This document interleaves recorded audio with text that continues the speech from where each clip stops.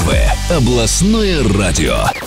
Ну, значит, учитывая, что вся ситуация охватила все сферы деятельности и жизни э, граждан, значит, э, основная направление, которое на настоящий момент известно, это звонки, сообщения и даже попытки э, прийти на дом гражданам. Значит, либо смс-сообщения и звонки, представляясь от имени государственных органов, либо государственных организаций, в том числе с э, предложением компенсации, либо с э, тем, что людям начислена компенсация, написаны какие-то возмещения, либо какие-то выплаты, либо какая-то поддержка. И в этих целях они запрашивают либо паспортные данные, либо э, банковский счет для того, чтобы якобы перевести денежные средства. В данной ситуации человеку в первую очередь нужно сделать следующее. Во-первых, если представляется какой-то организации, положите трубку, независимо от того, от какой, и перезвоните уже по официальному номеру этой организации.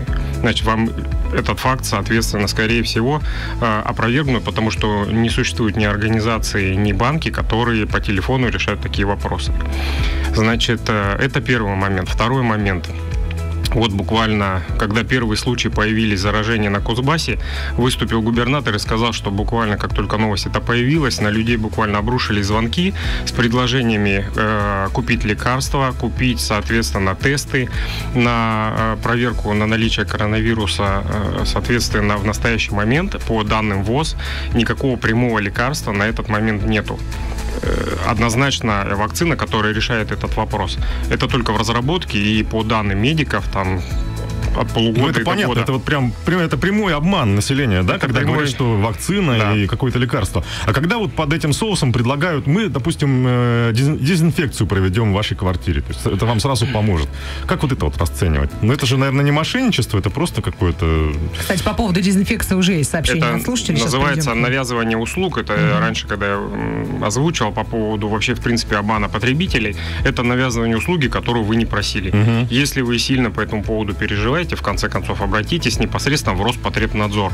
Значит, Роспотребнадзор у нас, э, кроме там Минздрава, Роспотребнадзор второй, а может быть даже первый, который сейчас по этой ситуации работает. И все вопросы, касающиеся вообще дезинфекции какой-либо, угу. могут решить только они. Поэтому вообще, обращайтесь к ним напрямую, да, не к частным компаниям. И надо понимать, что управляющие компании несут определенную ответственность за этот процесс. И есть э, сообщение от слушательницы, посвященное управляющей компании «Советская». А, пишут, что вот эта УК а, слегка удивила удивила, отчитавшись о том, что подъезды обрабатываются в это нелегкое время. А по факту рассыпали на первых этажах подъездов ведро сухой хлорки. А, чуть-чуть не превратив жильцов в тараканов. Да. да. Правда, после того, как а, позвонили, возмутились, быстро убрали подъезды, даже не подумали убирать.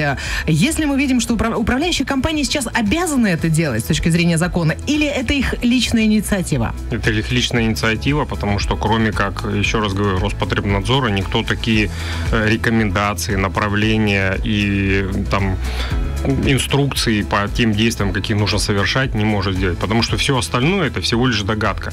В смысле, угу. откуда они взяли информацию о том, что если они везде рассыпят хлорку, то сразу да, это же вообще поубивают всех. Это, вот именно что всех поубивают. Все вакцины. Поэтому, угу. ну, конечно, им просто решили они что-то сделать, лишь бы что-то сделать. Вот и все. Друзья, если вы за последние недели, дни столкнулись э, с попыткой обмана, да, с, каки, с каким-то таким ходом в ваш адрес или в, адрес близких людей, обязательно расскажите нам об этом. Мы еще будем в эфире порядка 15 минут. А, напишите нам на WhatsApp, предупредите других 913 381 05 54. Дальше по случаям еще пробежимся. Что еще происходит? Следующее. Значит, сейчас э, ключевым моментом у людей возникло это возврат возврат авиабилетов и возврат, соответственно, турпутевок. А, появляются и уже авиакомпании на своих сайтах либо в своих соцсетях уже говорят о том, что мы непосредственно не обращаемся к своим клиентам. Если от имени наших авиакомпаний кто-то звонит и говорит, что озвучьте нам, опять же, банковские данные, персональные данные, мы вам вернем денежные средства, нет. Ни одна авиакомпания, ни один туроператор не обращается напрямую к клиенту и не решает этот вопрос через телефон, через звонок и так далее. Максимум максимум, что это может быть, это может быть обращение, э, письмо, либо смс непосредственно на телефон уже э, клиенту о том, что он может обратиться туда-то, туда-то для того-то, того-то, непосредственно в офис организации. Но авиакомпании в большой э, своей массе сейчас пишут о том, что никаких обращений в адрес клиентов они не делают. Они буквально пишут, какие действия они совершают, там э, либо в личный кабинет э, клиента они пишут, либо они говорят, обратитесь в офис и так далее подобное. Но никаких паспортных данных, никаких банковских реквизитов они не запрашивают. В общем, не важно, что за организация конкретно вам звонит, как только происходит телефонный запрос на ваши паспортные данные, сразу кладите трубку, запомнив название организации, куда вы сможете легко после этой беседы, начавшейся и легко закончившейся, перезвонить самостоятельно и уточнить. Да? Mm-hmm. Но никаких да. паспортных данных, данных по телефону не передавайте. Где еще держать руку на пульсе? Где быть внимательным? Значит, э, банки сейчас, э, банки, Минфин, Центральный банк активно объясняют людям по поводу следующих моментов. Первое, э, как только финансовое положение в стране изменилось, как только начали лихорадить рынки, появилось много псевдоброкеров, которые предлагают заработать денежные средства на этой ситуации, на валютном фонде, либо на фонде, э, на бирже и так далее. Значит, такими действиями могут заниматься только официально брокеры, которые аккредитованы, получили лицензию, имеют официальную э, возможность этой деятельностью заниматься. Они, по большому счету, все известны. Значит, это большие крупные компании, либо организации финансового сектора, которые всем известны, крупные, давно работают на рынке, у них есть аккредитация, лицензии банка, Центробанка и доступ к этим услугам. Все остальные организации, и либо же э, частные лица, которые предлагают вам такое сделать, это, соответственно, либо мошенники, либо аферисты, либо лица, у которых э, там, ну, репутация, видимо, ее просто еще не существует. Это просто вы можете потерять денежные средства. Первое. Второе, буквально на прошлой неделе вопрос уже так или иначе решился по поводу э, кредитных каникул, и на этой волне вот, сразу же появилась... Да, расскажи на этой волне сразу же появилось несколько видов мошенников. Первые мошенники – это э, однодневки, которые создаются для того, чтобы якобы решить вопрос с закрытием банковских кредитных карт, либо закрытием каких-то мелких кредитов, в том числе и в отношении индивидуальных предпринимателей обращаются. И это что-то наподобие микрофинансирования, да? Не микрофинансирование. Они пытаются закрыть именно эту, э, закрыть именно долг, но параллельно начинают запрашивать массу информации, в том числе финансовой финансовой информации, через которую пытаются как раз э, провернуть операции финансового э, направления, э, либо которые самого клиента вешают еще на дополнительные какие-то кредиты, либо же те денежные средства, которые у них есть на счетах, они могут их, соответственно, изъять. А что значит по это, помочь закрыть кредиты? Хороший это, вопрос, кстати. Нет, не кредиты, а банковскую карту. Банковскую да, карту, да. да. Ну, она кредитная же карта. Что значит закрыть? Они что я предлагают? Не знаю, я все-таки, долг, наверное, да? я все-таки этим не занимаюсь. Я говорю о том, что сейчас появилось такое направление. Как они это объясняют и предлагают этот вопрос, это, это уже не ко мне. Давайте вернемся. Я говорю о том, что такого в принципе не может быть. Вы единственный вариант, какой возможен, это первое. Значит, есть разъяснение на сайте Минфина, есть разъяснение на сайте правительства. Непосредственно вышел уже закон, где четко, э, четко прописано, что нужно делать. Значит, непосредственно Центробанк дает разъяснения свои, и в каждом банке указано, какие документы, что и как нужно предоставить, какие сроки, по каким э, кредитным направлениям, в каком объеме вы можете заявить и на каких условиях. Ну, в общих чертах можно сказать, что сейчас происходит с кредитными каникулами? На кого они распространяются? Группа населения, которая точно может претендовать на них? Или это слишком большое Я предлагаю да? следующую тему этим открыть. Угу. Давайте мы все-таки не Хорошо, будем отвлекаться. Давайте. Значит, второй момент э, мошенников, которые тоже в этом направлении направлении действует. Значит, одним из документов, которые необходимо предоставлять, это справка 2 НДФЛ, предусмотрена, которую нужно, чтобы получить кредитные каникулы, предоставить справку 2 НДФЛ, подтверждающую, что у вас упали доходы там более чем на 3%, 30% и э, по соответствию с предыдущим. Э, значит, мошенники пользуются двумя способами. Первое, то есть пользуются тем, что люди многие не могут выйти, э, находятся на самоизоляции, либо же организации приостановлены приостановили свою деятельность, либо же там бухгалтерский сектор э, приостановил свою деятельность, э, не могут э, оперативно получить документы, и эти организации, соответственно, аферисты, предлагают сделать поддельные документы, поддельные 2 НДФЛ. Значит, на что банки, Центробанк говорит, обращает внимание сразу же, что все эти документы, которые представляет клиент, они все проверяются, модель, значит, проверяются, анализируются в случае, если будет выявлена подделка либо недостоверный документ, сразу же, соответственно, возникает обязательное требование полностью гашения кредита единомоментно со всеми О, неустойками и штрафами. Угу. Более того, сразу заносится в черный список, сразу же кредитная история полностью портится. Человек просто лишается на будущее вообще любых возможностей финанс, финансирования какого-то дополнительного.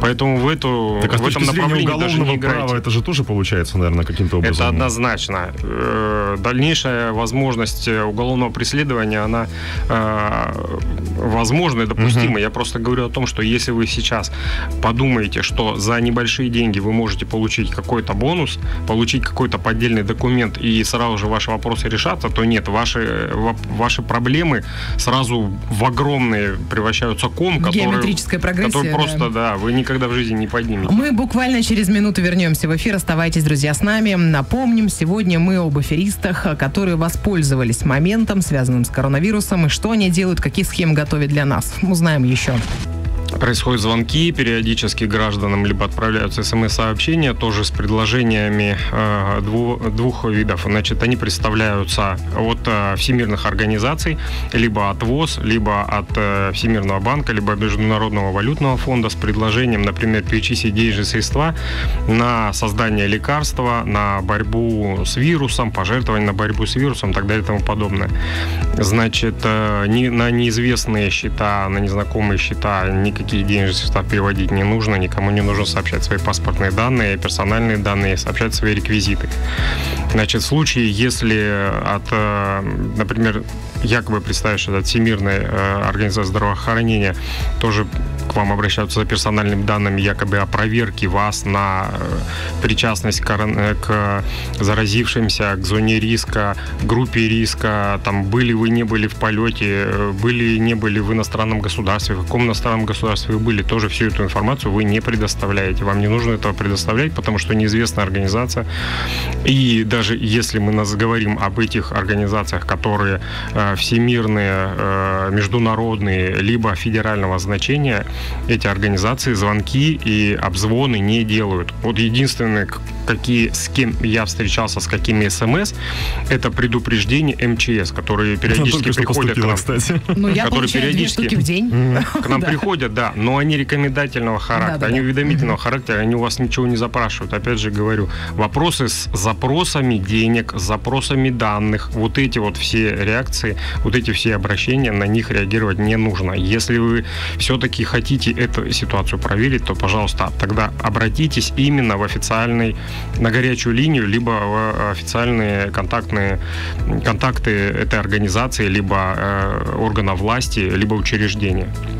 Значит, э, опять же, периодически возникают случаи, когда мошенники или э, аферисты обращаются. Ну, это на самом деле старая схема. Раньше такое очень часто было, когда делается звонок родственнику либо человеку, говорится о том, что ваш там родственник, знакомый, друг, приятель попал в беду, значит, перечислите срочно деньги, он не может позвонить. Значит, аналогичная ситуация сейчас используется, когда звонят и говорят, мы вам там, из такого-то, такого-то медучреждения, человеку плохо потерял сознание, ваш родственник, знакомый, друг, брат, ребенок, не знаю, приятель какой-то оставил ваш телефон или там ваш телефон отразился на его, э, в его там записной Память книжке, телефона, он сейчас да. не может с вами разговаривать, срочно нужны деньги на покупку лекарств, там, не знаю, медикаментов, на проведение каких-то операций, немедленно переводите денежные средства, он там, не знаю, под капельницей находится, либо в реанимации, не может с вами связаться, тоже этого делать не нужно.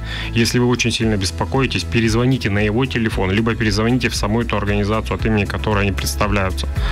В случае, если обращаются и говорят, что якобы по вам уже э, установлено, что вы заразились, что вы являетесь, выехали, да? что вы являетесь носителем, и вам срочно нужно, там, не знаю, данные предоставить дополнительные для перепроверки якобы какой-то, либо же предоставить какую-то информацию о себе, о своем местонахождении, о своих э, там паспортных данных, опять же, реквизитах, еще чего-то, чего-то, СНИЛС, паспорт и все остальное, значит, тоже этих никаких данных действий совершать не нужно. Это все как минимум подозрительно, как максимум всегда можно э, самый простой вариант положить трубку и перезвонить по официальному телефону. Значит, у всех есть, э, во-первых, э, свободный доступ в интернет есть у кого. На каждое, э, каждое учреждение есть горячая линия. Есть горячая линия непосредственно у организаций, которые занимаются вот как раз сейчас вот этой эпидемиологической ситуацией, либо же экономической ситуацией. То есть... Ну, это трудно тем людям, которые пожилые и не, не всегда владеют... А вот с тобой сейчас не соглашусь. Я согласна, что пожилые, конечно, в определенной серьезной группе риска. Сейчас мы все настолько уже на, э, с оголенными нервами, все, что связано с этой темой, мы все очень сильно накачаны. И когда человек находится в этом эмоциональном состоянии, его взять можно прям тепленьким, так легко, вот, легко. я о чем хотел сказать, что... Не только пожилых. В этой ситуации да. нужно первое, что сделать, с кем-то посоветоваться. Не mm-hmm. просто там сразу принимать решение и начинать деньги переводить, э, пытаться дозвониться, потому что часто телефон бывает заблокирован там у того человека. Ну, так совпало. Просто позвоните кому-нибудь, кому вы доверяете, и опишите ситуацию. И выслушайте мнение человека со стороны. После горячей линии. Вторым звонком. Сначала горячая линия. А что еще, Алексей, происходит? Ну, вот я основные, основные направления я озвучил. Это как раз касается непосредственно медицинского направления. Это вы правильно сказали. Касается э, любого вида проведения анализа анализов, тестирования, продажи этих, э, продажи медикаментов, продажи э, тестов, э, значит, проведение санобработок. Э, финансовый сектор – это звонки от банков, либо же от финансовых учреждений, направление туризма и, соответственно, авиаперевозки, ЖД-перевозки и все путевки, которые вы купили или там вы не можете вернуть, отказались и все остальное. Значит, э, все официальные органы, все официальные организации организаций, все крупные организации говорят о том, что они обзвонами не занимаются. Всю информацию они публикуют либо на своих сайтах, либо на, э, в личном кабинете э, самого клиента, если он закупку делал через личный кабинет или оформлял как-то этот личный кабинет. Либо же предлагают непосредственно прийти именно в офис и в офисе этот вопрос решить. Во многом люди по таким направлениям попадают, вот, например, особенно берем самые горячие, да, это туризм, и, соответственно, авиакомпании. Да, люди не могут дозвониться. Люди бывают там по 60, по 30 минут э, висят на телефоне и не могут получить э, отзыв с той стороны. Ожидайте, ожидайте загруженные телефоны. Частенько, кстати. Найдите в себе, да, терпение, э, звоните. Кроме того, я буквально и вчера, и сегодня посмотрел, основная масса крупных авиакомпаний, главных вот этих вот игроков на рынке, они дублируют свою информацию во всех соцсетях, в которых они находятся, и на официальном сайте сайте и во всех соцсетях, на которых они находятся. А, хотела рассказать об одной авиакомпании какую-то реальную историю или как-нибудь потом в другой раз. Есть еще... Да, Последняя да. вот конкретная информация была. Ну, последняя буквально на прошлую, то есть э, вчера, значит, э, авиакомпания «Победа» у себя развешала такую информацию, что поступили сообщения, якобы обращения от имени авиакомпании. Авиакомпания такого не делает. Эта рассылка произошла везде, даже если вы были когда-то клиентом этой организации, к вам прилетает такое сообщение и написано «Мы мы обзвонов не делаем. И Сбербанк и ВТБ опубликовали тоже свои обращения гражданам, что они никаких сборов информации не делают, никаких перечислений не делают. Ну и два коротких вопроса с короткими ответами уже убегаем, но вопросы очень распространены на нашем WhatsApp номере и в соцсетях Радио 54, а связаны с ценообразованием. Цена на лимоны в киоске рядом с домом, как только прошел слух, что лимонов надо кушать больше, взлетела до 450 рублей за а, килограмм. А, и все, все, что связано с лимонами, и имбирем, и вот этими дикими расценками. Если человеку вообще есть смысл куда-то обратиться, пожаловавшись на такой взлетевший ценник, или это бессмысленное телодвижение совсем? Ну, смотрите, в любом случае, все, что касается на рынке, э, это оценивает э, антимонопольная служба, то есть там любые картельные сговоры, либо злоупотребление на ситуации на финансовом рынке. И Роспотребнадзор, да, вы всегда можете туда обратиться, о конкретной ситуации сообщить, а уже контролирующий орган проведет проверку и определит, насколько это было обосновано. И второй вопрос, который действительно беспокоит очень большое количество наших слушателей. Где точно получить информацию по поводу э, штрафных санкций, связанных с ношением маски, соблюдением э, санитарного режима, вот этих всех историй? Где прописано точно, что, например, на территории Новосибирской области существуют такие-то, такие-то штрафы в таком-то, таком-то размере за то-то, то-то, то-то? Где это точно прописано и на что сейчас опираются э, люди? Как это называется, этот закон, эта площадка, где это? Значит, э, на прошлой неделе были внесены изменения в Уголовный кодекс, Уголовно-процессуальный кодекс и, соответственно, Кодекс об административных правонарушениях. Все это связано с теми или иными нарушениями санэпидемиологического э, правил. И, значит, э, единственное, где может это проявиться, это в КУАПе, но сейчас практики никакой нет, и там все достаточно в общих фразах написано, поэтому иногда возможность злоупотребления, наверное, на местах все-таки сотрудниками непосредственно уже, которые работают на земле. Поэтому единственный вариант это по горячей линии ВДС звоните, как только вы в такую ситуацию попали, никто не отменял горячую линию, звоните туда и говорите, вот такая ситуация. Горячая линия МВД. Конечно, ну если, да? если это сотрудники полиции да. были, то значит, соответственно, туда. Здесь не, нету привязки конкретно к области, потому что все, что касается области, это публикуется на сайте правительства и по распоряжениям губернатора таких э, штрафа вообще, в принципе, не вводилось. Такие дела, друзья. Мы услышимся еще с Алексеем наверняка. Я и думаю, не раз в ближайшее раз. время будем максимальное количество эфиров посвящать текущей ситуации, оповещать вас, чтобы вы были всегда информационно подготовлены. Для этого и существует утреннее шоу «Все свои». Наверное, убежим. Завтра вернемся в 8 утра и проснемся вместе с вами э, до 11. Не забудь бы, что к 8. Да. Алексей Горбунов, большое спасибо за сегодняшнюю беседу. Первое областное радио.